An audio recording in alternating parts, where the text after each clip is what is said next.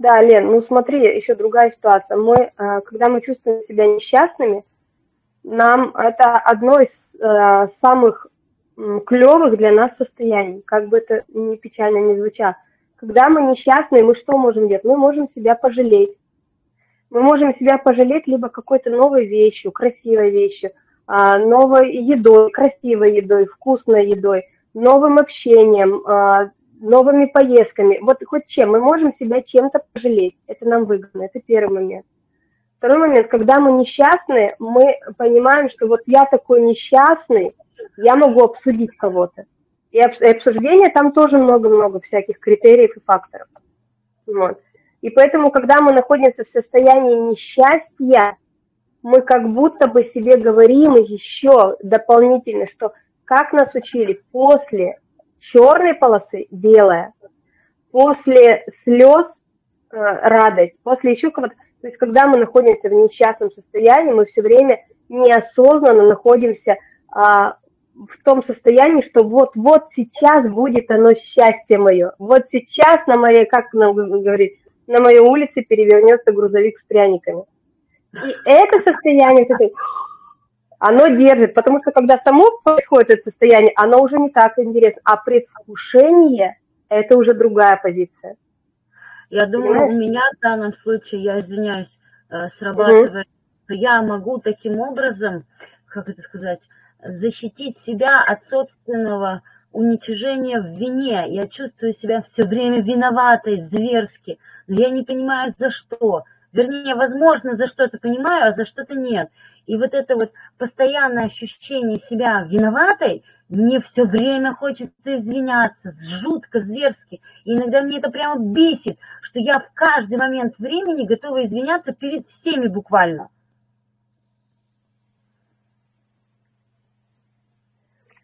Смотри, еще состояние вины. Ты, может быть, с мамой разговаривала, может быть, э, сама как-то знаешь. У тебя мама, когда была вообще беременна, она эм, хотела ребенка, у нее не было такого, что она хотела сделать аборт, там, или какая-то ситуация была сложная а, в детстве, возможно, и ты, кто-то, может быть, там проронил какое-нибудь слово, что вот я была бы одна, мне было бы легче, а тут на мне ответственность такая за тебя, я тебя люблю, доченька, но вот так вот. Вот что-то вот в этом роде. Э, было ли у тебя такое? Помнишь ли ты? Ну знаешь да, ли? Мне моя сестра рассказывала, что да, э, родители переживали по поводу моего рождения и вроде как задумывались на этот счет и, видимо, ну, не хотели сначала или как ли. Ну, короче говоря, этот вопрос стоял актуально. Вот. А, если ты через камеру сложнее, смотри, если ты начнешь себя вспоминать, вот сегодня просто вот ляжь а, перед сном, то есть мы сегодня до 12 часов кушаем, да, после 12 попробуй такую штучку себе сделать. Желательно не уснуть, но э, у тебя пусть это будет вместо, э, вместо какого-то делания, будет делание самой собой.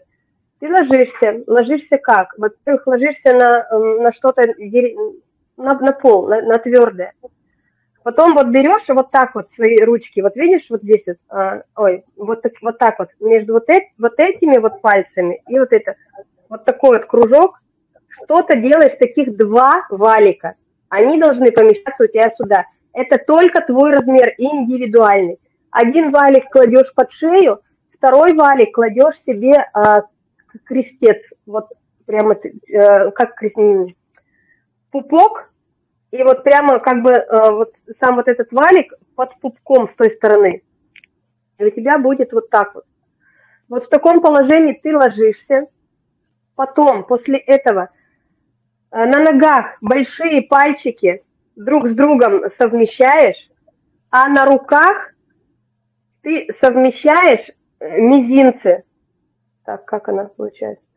Да, мизинцы. И вот так вот вытягиваешь руки, вот видно, вытягиваешь руки, и мизинцы вот так вот совмещенные у тебя лежат на, э, на полу, господи, все слова позабывал, на полу. То есть вот так вот на полу и совмещенные пальчики, большие пальчики на ногах, то есть они будут вот так вот. И в таком положении с двумя валиками ты лежишь, Сначала ты лежишь минутки три, просто лежишь, и начинаешь ощущать все в своем теле, а потом потихонечку, возможно, с первого раза не получится, возможно, с первого раза тебя выкинет. После трех минут а, начинаешь вспоминать себя, а, прям представляя себе внутриутробное состояние мамы. Попробуй прочувствовать, какого, э, какого цвета, какой, какой плотности вода, она такая будет слегка маслянистая. А, попробуй прочувствовать, какого просвечивает или нет мамин животик, то есть ты поймешь, что как бы больше на солнце она находилась. Попробуй прочувствовать себя вот там, и тогда тебя вынесет в те разговоры, в те чувствования и в, тот, а, в ту дефицитарность, в которой ты находилась во внутриутробном состоянии. Когда ты понимала, что ты внутриутробное состояние, наши детки, зачатки, сперматозоид с оплодотворенной яйцеклеткой принимают решение, появиться на этот свет или нет.